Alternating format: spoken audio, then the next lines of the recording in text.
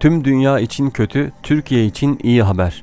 Açıklamalar peş peşe geliyor. Salgın nedeniyle Çin'in üretim ve satış süreçlerinde yaşanan sıkıntılar alternatif tedarikçilerden biri haline gelen Türkiye'de ek üretim ve ihracat kapasitesi yarattı. Küresel ekonomi için kaos senaryolarının yazıldığı koronavirüsten tüm ülkeler olumsuz etkilenirken bir tek Türkiye için durum tam tersi. Tüm dünyaya korku salan koronavirüs salgını Çin'de üretimi sekteye uğratırken Türkiye ise birçok alanda bu ülkeye alternatif oldu. Tekstilden gıdaya, makineden elektroniğe kadar pek çok sektörde ülkelerde firmalar talep artışını karşılamaya çalışıyor. Türk iş dünyası yetkilileri koronavirüsün sektörlerine etkilerini dünyadan Leyla İlhan ve Osman Kılıç haberinde değerlendirdi.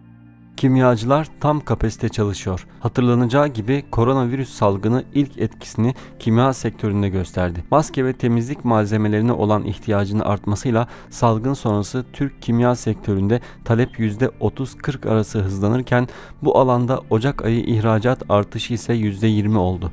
Firmalar artan talebe yetişmek için tam kapasite çalışmaya devam ediyor. Koronavirüs salgını sonrası sektörlerinde bir hareketlilik yaşandığını ifade eden İstanbul Deri ve Deri Mamulleri İhracatçıları Birliği Başkanı Mustafa Şenocak, dünyadaki zincir mağazalar Türkiye'yi kapasite konusunda yoklamaya başladı. Derinin çeşitli sektörlerine talepler arttı, görüşmeler sürdürülüyor dedi. Önümüzdeki hafta ile birlikte olumlu yansımaların somut olarak görüneceğini söyleyen Şenocak, 2020 yılı içinde ihracata %15 pozitif yansıma olacaktır. Bu artış koronavirüs sonrası da devam edecek bir artış olacak açıklamasında bulundu. Durumun konkordato ilan eden ayakkabıcılara da olumlu yansıyacağını dile getiren Şen Ocak, konkordato ilan eden ayakkabıcılar ihracatta rahatlarlarsa yurt içine de yansıtacaklardır diye konuştu. Evet arkadaşlar bu videoyu bilgilendirici ve faydalı bulduysanız eğer ve bu tarz videoların devam etmesini istiyorsanız lütfen videoyu beğenmeyi ve kanalımıza abone olmayı unutmayın.